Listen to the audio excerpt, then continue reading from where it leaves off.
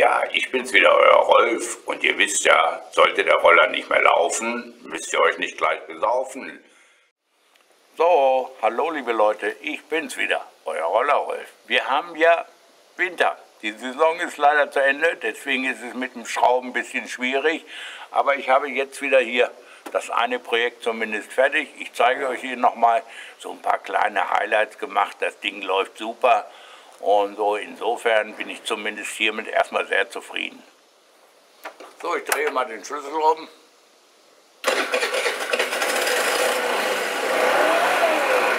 Seht ihr, das Ding ist sofort da, das ist schon mal schön.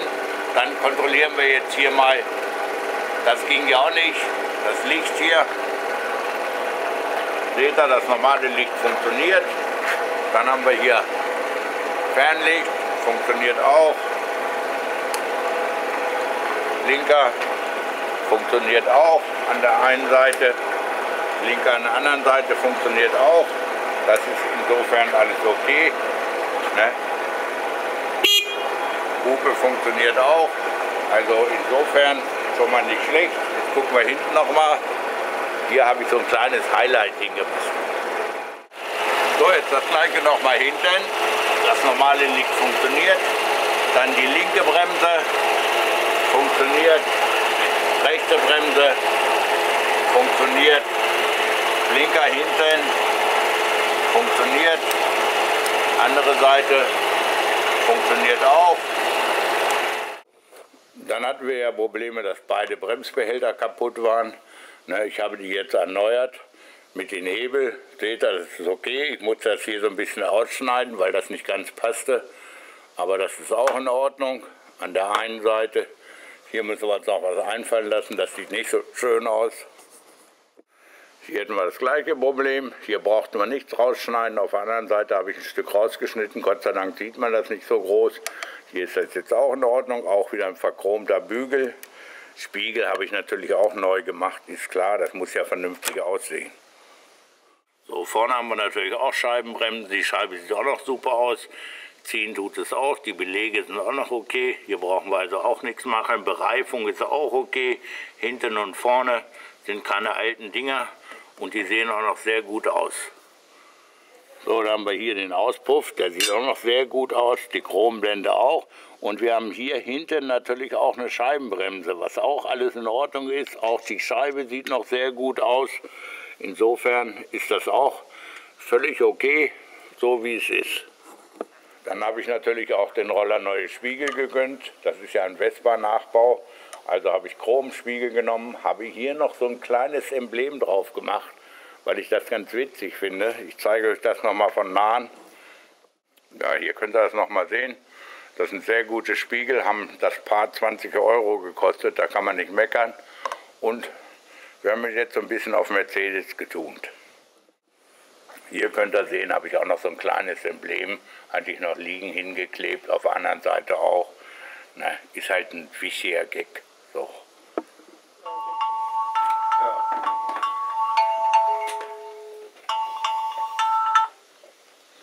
Ja, hi. Ja, hier auch hi. Ja gut, äh, ich komme gleich mal vorbei, weil es ist so, ich habe gerade einen Augenblick Zeit und meine Frau wollte hier eh noch ein bisschen was am Roller machen. Deswegen äh, komme ich mal rum. Bis gleich. Ciao.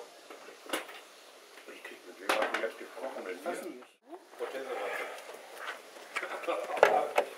Abkriegen schon. Nee, die will ich weiter. Der tut ihn nicht so. Mein Wohnungsgeschmack, der aber. Ja. Ja, doch, das ist ein Halt, halt, halt! So, tschüss, bis nachher. Bis dann!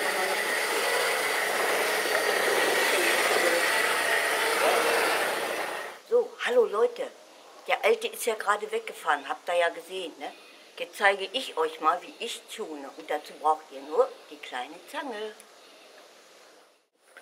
So, ihr gebt ja viel Geld für Tuning aus, ne?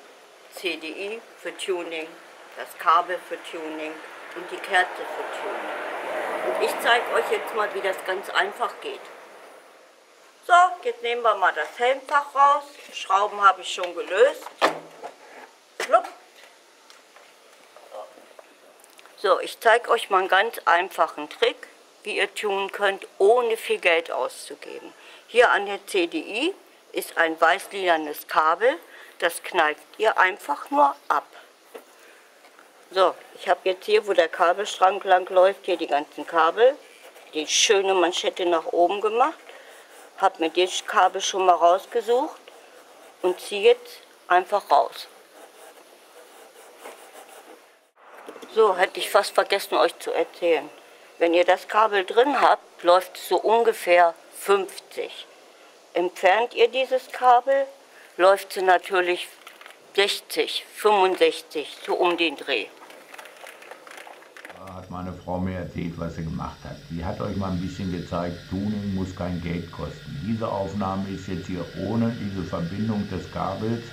Da seht ihr, dass der Tacho, man kann den nicht so gut erkennen, nach, mehr nach rechts rüber geht. Also da liegst du so um die 60. Ich bin auch in der Stadt unterwegs, da kann ich nicht so schnell fahren, das ist nicht ganz so gut. Aber man sieht, dass man im Grunde genommen hier gar nicht viel an Geld investieren muss, weil wir sind hier nur beigegangen und haben im Grunde genommen eigentlich die Drossel aufgehoben. Ne? Und äh, insofern, also die Drehzahlbegrenzung und insofern ist das ein einfacher Schritt. Hier ist jetzt die zweite Aufnahme ne, wo es dann so ist, da geht er, er steht ziemlich in der Mitte, geht so ein bisschen rüber. Leider kann man den Tacho nicht so gut erkennen. Da läuft er genau 50. Da ist also die Verbindung des Kabels wieder da. Deswegen haben sie da so eine Steckverbindung reingemacht. Meine Frau mir dann gebeichtet. Ne, aber so mal als Beispiel, ne, weil man ja mit Tuning viel, viel Geld verdienen kann und alles überall steht Tuning Öl, Tuning CDI, alles was es so gibt und so. Und das braucht ihr eigentlich alles gar nicht. Ihr braucht eigentlich nur eine Kneifzange oder einen Seitenschneider und dann ruckzuck ne, habt ihr die Karre getunt. Das hat hier ungefähr 15 Stundenkilometer gebracht. Denkt aber bitte dann dran, dass es nicht legal ist und eure Betriebserlaubnis löscht. Also ich werde das jetzt wieder zurückbauen. So Leute, ich bin wieder zurück. Ne?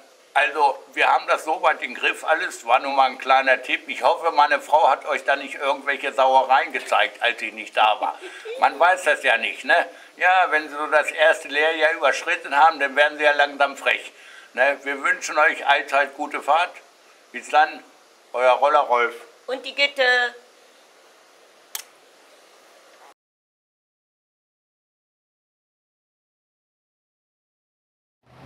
So, liebe Leute, ich bin's wieder. Ich habe hier gerade einen Euro in der Hand. Und zwar bei der Firma mit dem blauen Reklameschilder, wo ich immer hinfahre zum Tanken, ist zwar ein paar Cent teurer, aber das interessiert mich nicht. Das ist bei mir um die Ecke. Jetzt habe ich aber festgestellt, dass die jetzt hier so einen Automaten haben. Da muss ich einen Euro reinhauen, wenn ich Luft auf meinen Reifen mal ein bisschen drauf machen will oder darf.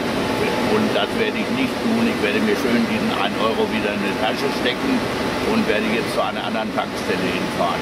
Wollte ich euch nur mal erzählen. Ist ja vielleicht gar nicht schlecht, wenn man sowas weiß, weil das ist schon echt abgewiesen.